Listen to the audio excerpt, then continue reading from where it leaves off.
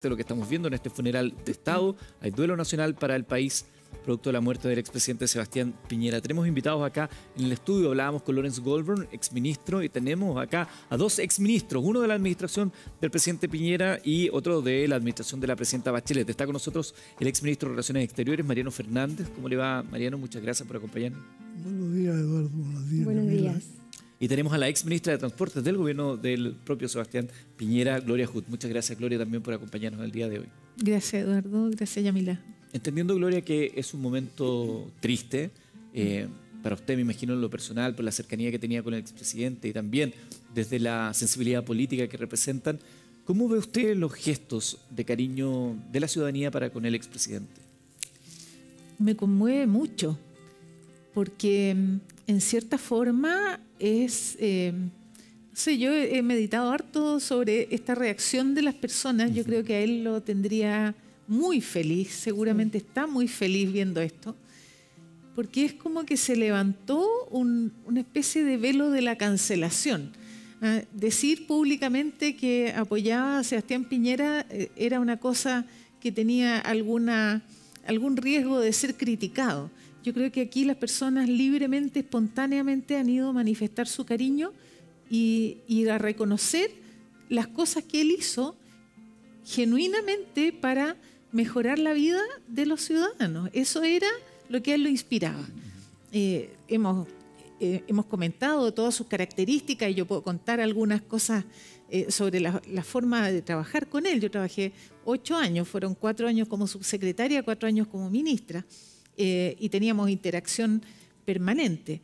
Eh, y puedo dar fe de lo genuina de su intención del resultado para los ciudadanos.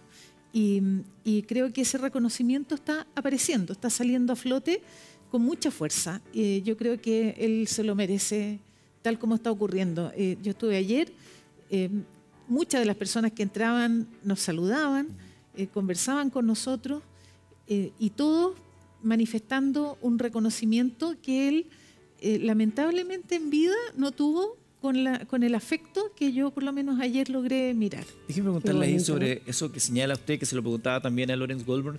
Lo he conversado con muchos exministros, ex colaboradores cercanos, ahora y antes, que era que la gente temía las reuniones porque él llevaba con, su, con sus libretas de apunte, subrayado todo, que muchas veces preguntaba, sabiendo un poco la respuesta, y lo que te ponía ahí siempre como en tela de, en tela de juicio de no defraudar a una persona que tiene una capacidad de estar en todas. Efectivamente, él es una persona, yo hacía como un recuento, tenía que hablar en la tarde, entonces estaba tomando unas notas. Eh, él llenaba todos los espacios, ¿eh? era una persona intensa, con conocimiento de todos los temas. Eh, y cuando, claro, teníamos estas bilaterales que son ya como, como un clásico de, de los que trabajamos con él, eh, míticas bilaterales, eh, uno tenía que mandar la presentación antes. Entonces él no solo la leía y la, se la aprendía completa, y por supuesto que revisaba la lógica, etcétera, y revisaba todo aquello por lo que te iba a pegar después, pero además él agregaba más información. Entonces yo fui aprendiendo eso y cada vez que mandaba la, la presentación hacía un suple porque sabía que me iba a preguntar más cosas y con el equipo llevábamos nuestra nuestro backup por si acaso aparecían más temas para tenerlos ahí preparados. Pero él se fijaba no solo en los contenidos, partía mirando que estuviera la fecha, que tuviera número de página, que los, las unidades en los ejes de los gráficos estuvieran correctas. era de un rigor impresionante. Uno no podía ir a improvisar. Y, y a mí me parecía tan correcta esa forma de trabajar y sintonizamos muy bien por eso cuando me nombró subsecretaria, yo había estado con él en una reunión, le había hecho una presentación. No teníamos una relación personal, pero habíamos tenido un, intercambio técnico.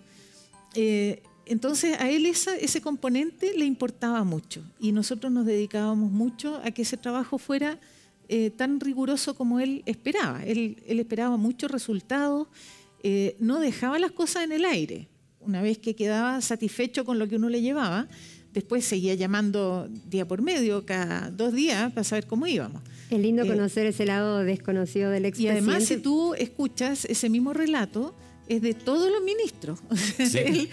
a mí, para mí era de una intensidad tremenda el trabajo y era un ministerio, pero era igualmente intenso con todos los demás. Entonces la cantidad de trabajo, la capacidad de trabajo que tenía era sobresaliente.